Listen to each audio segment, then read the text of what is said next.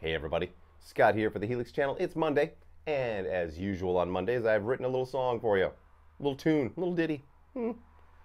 Using uh, last Friday's preset, the old school, which is, you know, using some of the uh, old school amps like the, uh, the US Small Tweed and the uh, Tweed Blues. And then also the Triangle Fuzz. So this preset uses just that. Or I'm sorry, this song uses just that and a bass preset, of course. So, uh, shall we?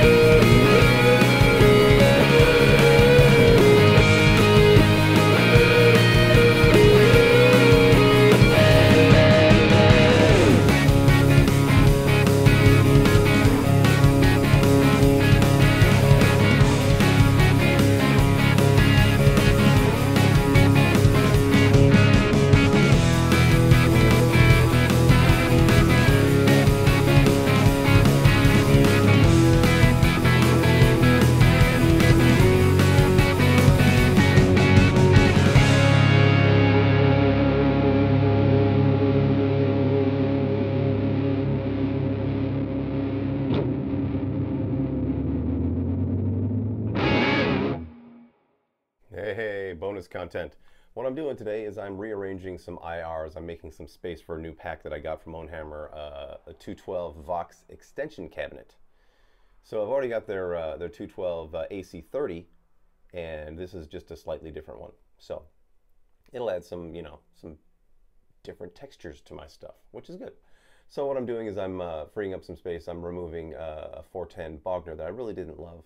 I really like the uh, the 410 uh, Silverface Fender, which is what I'm moving here, and the 212 Vox AC30. So I'm just making some space for the other presets. So uh, I've already moved uh, this one up to there. That means I can clear this one because I know that I only save two per microphone. And what I do is I'm just moving up this one right here, and then I'm going to retitle it so that I can see the uh, see it a little easier. Uh, this 160 right here will be 160.05 and this is 160 Fred. So then I can uh, get rid of both of these because I have already moved them. Now I know the next one I need to move is this one up here. Blah, blah, blah. I'll keep doing this until I have my space and then I'll uh, show you what to do when I add the other ones.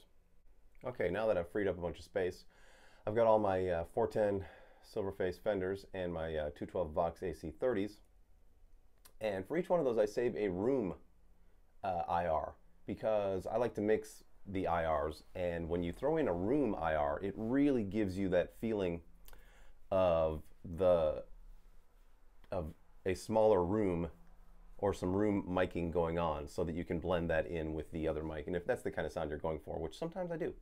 So I like to have at least one of those per uh, uh, per cabinet, per set of IRs for the clean ones, anyways. For the over for the heavy ones, not so much because it's not as pleasant a sound. I, I don't find.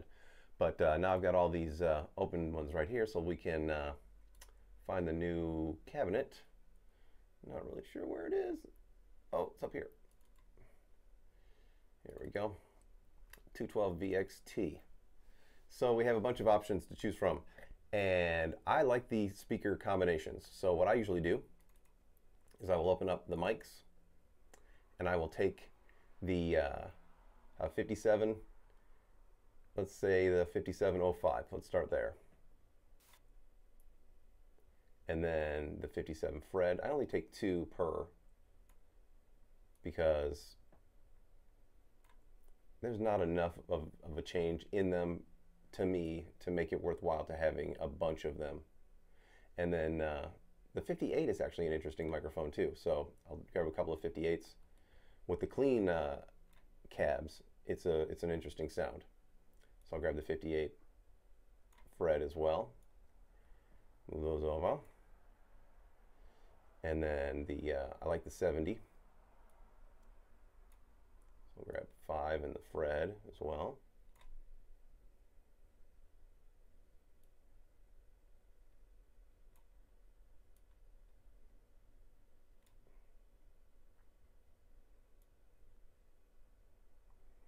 Now this actually takes up a lot of space. So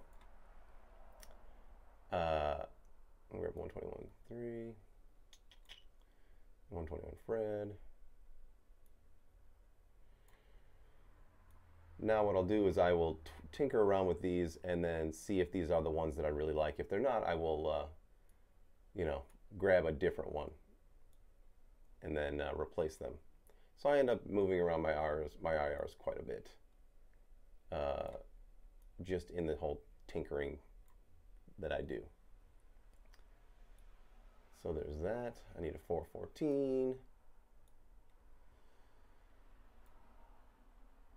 And 414 Fred.